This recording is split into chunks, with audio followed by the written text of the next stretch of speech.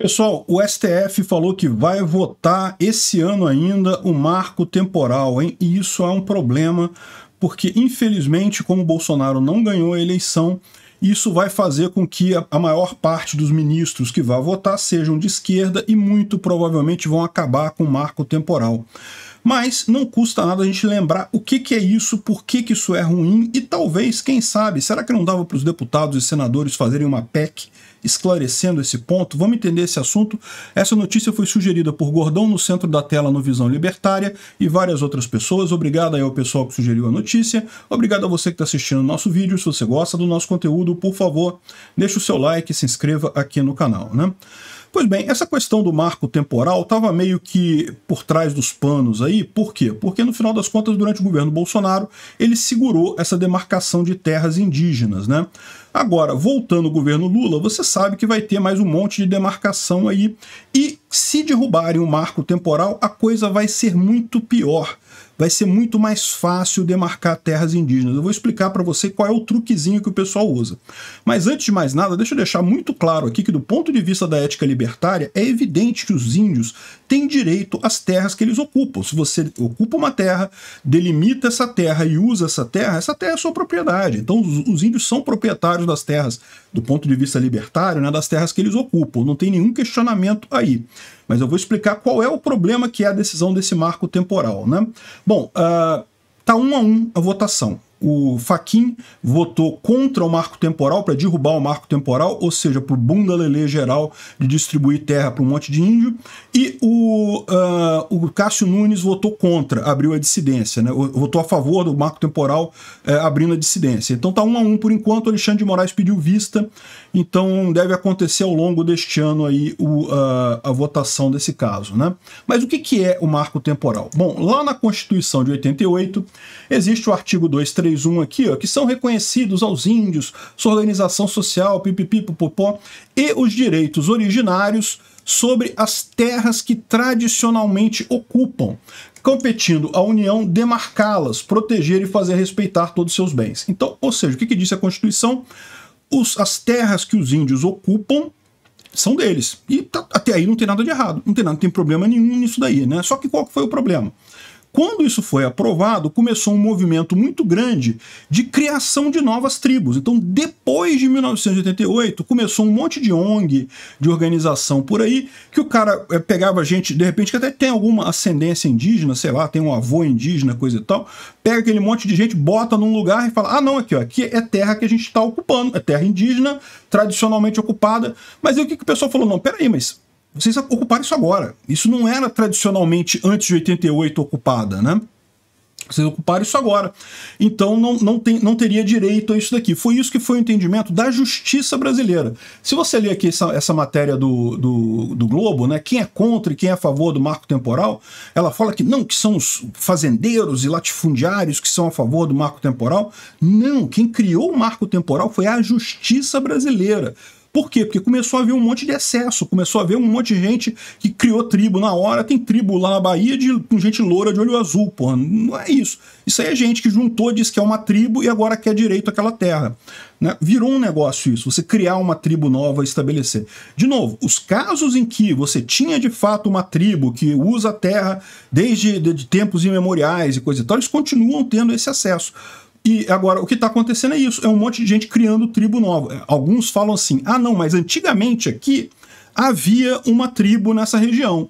E agora a tribo uh, loteou o lugar todo, moram outras pessoas, agora eu quero voltar com a tribo para cá. Isso é um absurdo, isso aí não é coberto pela ética libertária e não deveria ser. Por quê? Porque você não sabe como que a tribo deixou de morar ali. Ela deixou de morar porque foi expulsa de forma violenta? Se foi isso, eu posso até concordar que seria direito dos, dos índios retomar o lugar. Mas nem todos os casos foram assim. Alguns casos os índios simplesmente se misturaram na população. Eles não foram expulsos expulsos obrigatoriamente. Né? Houve uma época aqui na história brasileira que os índios, na verdade, eles se, se é, é, juntaram, fizeram uma grande mescla com portugueses e com negros e coisa e tal, e é a população brasileira que a gente tem hoje. Né? Então não é que eles foram expulsos, eles simplesmente misturaram com todo mundo. Então, nesse caso, não tenho que falar de, ah, não, essa terra aqui um dia já foi minha, então agora ela é minha de novo. Um dia já foi de um antepassado meu, então agora é minha. Não, não é. Se essa terra foi tomada de você de forma violenta, ok, mas cabe a você provar que você foi expulso de forma violenta dali. E uh, o que está acontecendo é isso. Por que, que foi criado esse marco temporal? É justamente para evitar abuso nisso daí. Começou a se criar um monte de ONG, começou a se criar um monte de tribo indígena, entre aspas, e, e, e demarcar terra exigir demarcação, né? E qual que foi a decisão da justiça? O marco temporal é justamente o ano de 1800, 1988, que foi o ano da Constituição. Então, como a Constituição usa o verbo no passado, é, sobre terras que tradicionalmente ocupam, ou seja, ocupam, é, desculpa, o verbo no presente, né, que ocupam no momento da Constituição promulgada em 1988. Então, esse é o marco temporal. Se os índios estavam no lugar em 1988, eles podem reclamar a posse daquela terra. Ah, mas os índios não estavam lá, mas no passado eles estavam, depois no futuro eles voltaram para lá, não sei, mas em 88 não estava. Então não pode reclamar porque não era a terra que eh, tradicionalmente ocupavam, né? Então essa é a coisa.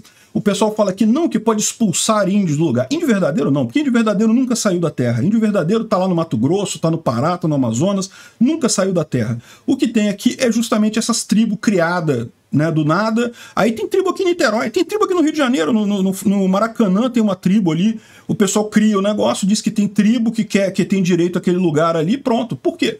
Porque quer o lugar, né? Quer, quer a, a área. Pô.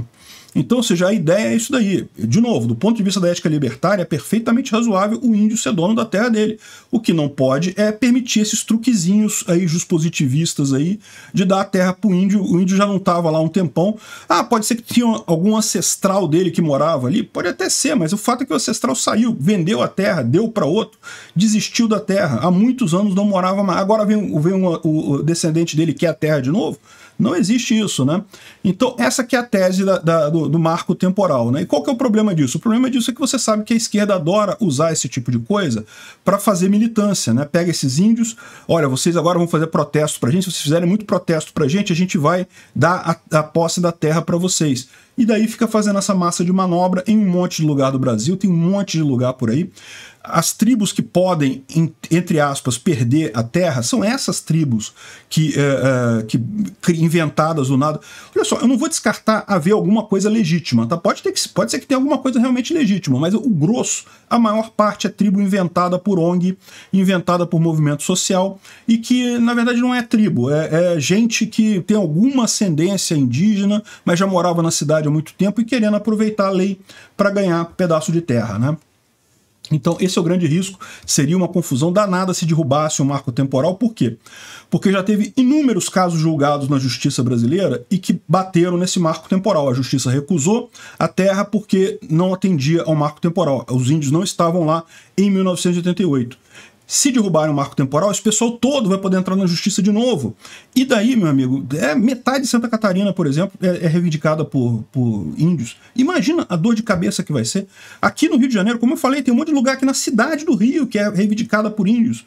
E, e, como eu disse para vocês, se, se, o índio foi expulso violentamente, se tem prova disso, que foi expulso violentamente, é uma coisa. Agora, se não tem, se a coisa foi o índio saiu por livre e espontânea vontade, se vendeu a terra para o homem branco, porque sim, teve muito comércio, teve muita ocupação legítima de propriedade, aí, meu amigo, é, é um erro, é um absurdo isso. Você está é, é, criando um, um passivo jurídico enorme para qualquer pessoa aqui no Brasil. Obrigado por assistir o vídeo até o final. Além de curtir, compartilhar e se inscrever no canal, considere se tornar patrocinador com valores a partir de R$ 1,99. Clique no botão Seja Membro abaixo para saber as condições e vantagens de patrocinar o canal. Mais informações sobre o nosso projeto, visite nossos sites indicados na tela.